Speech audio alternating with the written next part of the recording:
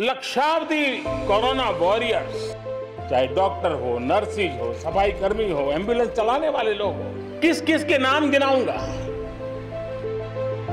प्रधानमंत्री श्री नरेंद्र मोदी जी के कुशल नेतृत्व में भारत सरकार द्वारा किए गए निरंतर प्रयासों के द्वारा आज भारत कोरोना के खिलाफ लड़ाई को निर्णायक रूप देने की दिशा में कदम बढ़ा चुका है। देश की बुनियादी जरूरतों को ध्यान में रखकर भारत सरकार ने हर कदम पर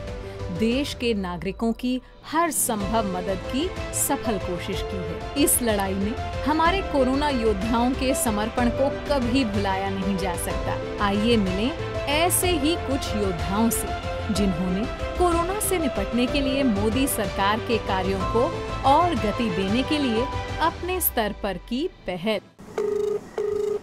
હલો સ્મિતાબેન હા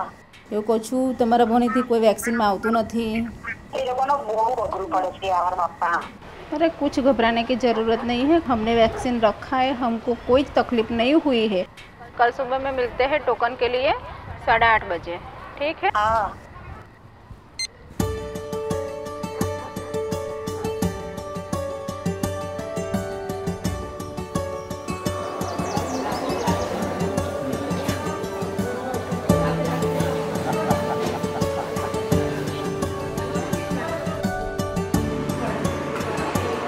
हमारे यहाँ नेव टका जैसा काम तो ख़त्म हो गया है वैक्सीन का लेकिन पहले हमको बहुत तकलीफ हो रही थी जब नया नया वैक्सीन आया था तब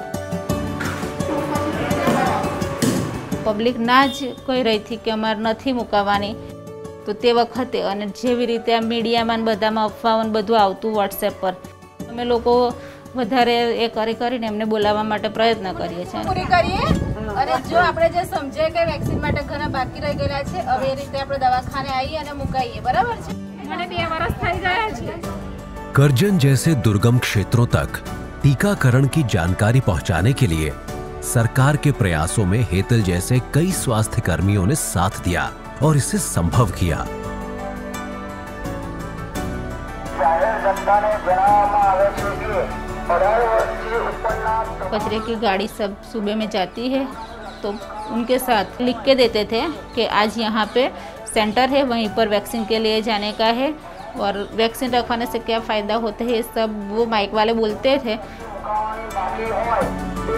સરકારી આરોગ્ય કેન્દ્ર સર્જન ખાતે વેક્સિન મુકાવી શકે છે અને જે પબ્લિક અત્યારે નથી માનતી એ પણ હવે બધાનું જોઈને આવવા લાગી છે કે ના વેક્સિન મુકાવવાથી ઘણું સારું છે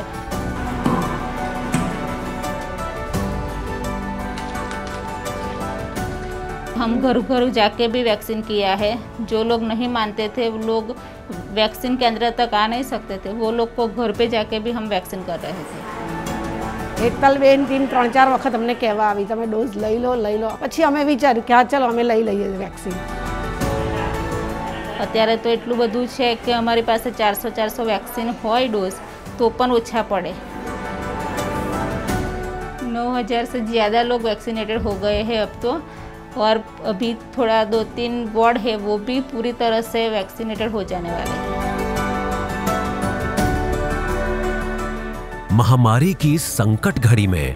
हेतल जैसे स्वास्थ्य कर्मियों ने सरकार के कार्यों में सहयोग करके कर्तव्य निष्ठा का प्रमाण दिया है।